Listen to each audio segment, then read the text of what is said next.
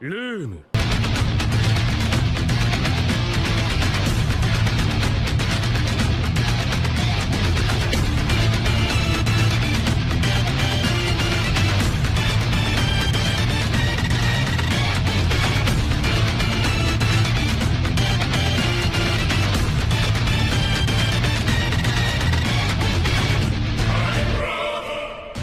No Dragon Ball Z numéro 2, les cyborgs. Bonjour à tous, aujourd'hui on se retrouve pour une nouvelle vidéo. Si vous n'avez pas vu l'épisode précédent, pas de souci, je vous la mets à la fin, et je vous invite à aller la voir. Tout d'abord, il faut expliquer la différence entre le terme cyborg et robot ou android dans l'univers de Dragon Ball. Un cyborg ou humain artificiel dans Dragon Ball, comme son nom l'indique, on part sur la base d'un humain à qui on modifie son corps avec de la robotique ou greffe mécanique. Les robots ou androïdes dans Dragon Ball sont juste de la ferraille, pure et dure, aucune base humaine. Pour certains, cela ne leur a rien appris, mais je préfère préciser, tout le monde n'a pas la science infuse. Pour que cette vidéo ait une durée correcte, malgré que dans le titre j'ai sûrement juste marqué cyborg, cette vidéo va traiter à la fois cyborg et des androïdes. On va donc commencer par les cyborgs. Je tiens à préciser les cyborgs annexes et secondaires que tout le monde ne connaît pas forcément ou qu'on voit que dans des films et qu'ils sont aux F, j'ai passe. Merci de votre compréhension, la direction. Dans Dragon Ball, nous retrouvons C8 ou Achan, ou en VF Frankie. À l'origine humain, C8 vit son corps modifié par le docteur Gero afin qu'il puisse travailler pour l'armée du ruban rouge, ou Red Ribbon.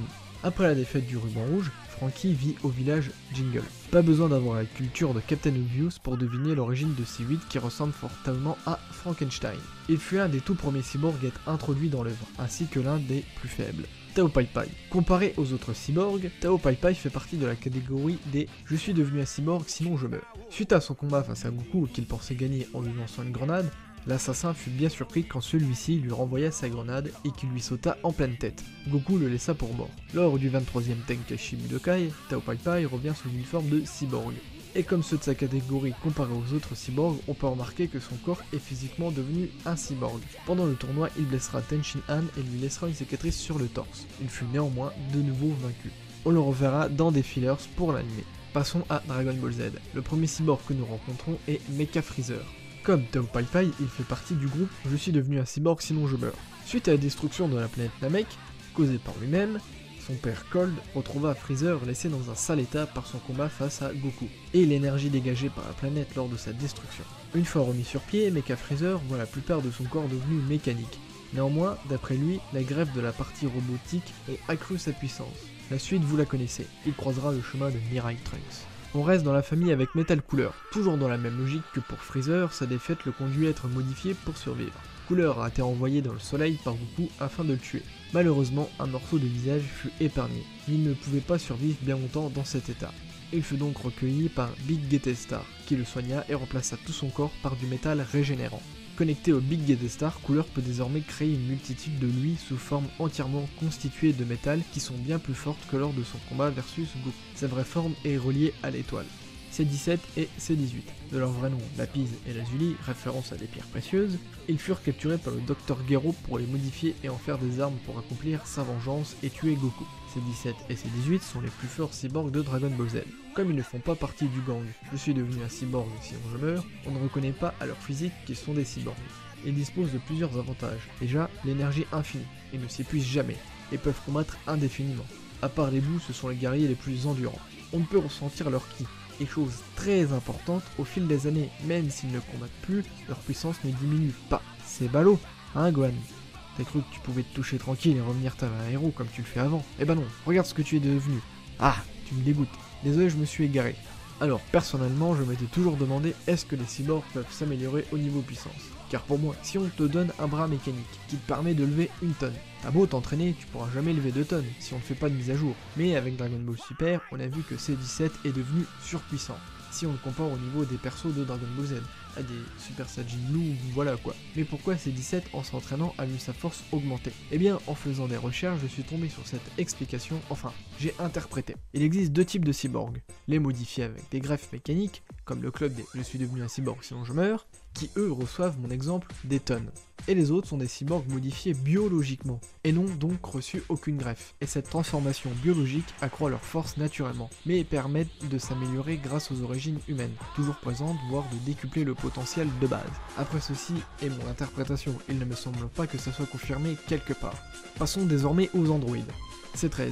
Personnage de film, il est accompagné de C14 et C15. Leur but est de tuer Goku pour venger le Docteur Gero. Toujours le même blabla. Ils possèdent les mêmes avantages au combat que C18 et C17. Mais comme ils sont de purs robots, ils ne disposent d'aucune marge de progression naturelle.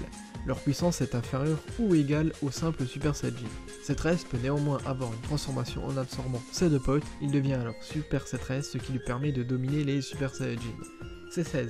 Quand je disais C17, C18 étaient les cyborgs les plus forts et ne sont pas pour autant les humains artificiels les plus puissants.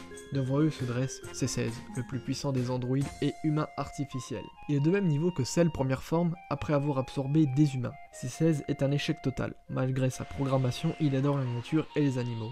Et il peut se retenir d'engager sa mission prédéfinie, tuer Sangoku. Pour votre culture, le physique de C16 est directement inspiré du fils du Dr Gero qu'il a perdu dans le passé. C19 et C20. Ils possèdent la capacité d'absorption d'énergie que ce soit sur les Kikoa lancés ou directement sur l'adversaire.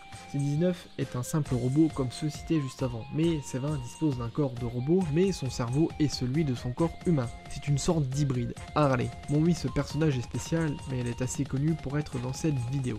Harley c'est un gag. À l'époque de Dragon Ball, elle coupe la Terre en deux avec un coup de poing. Elle est invincible. On arrive sur la fin. Avant de partir, oui, j'ai oublié des personnages tels que Super C17, Cell ou encore les robots de l'univers 3. Et je vais vous dire pourquoi, je n'en ai pas parlé.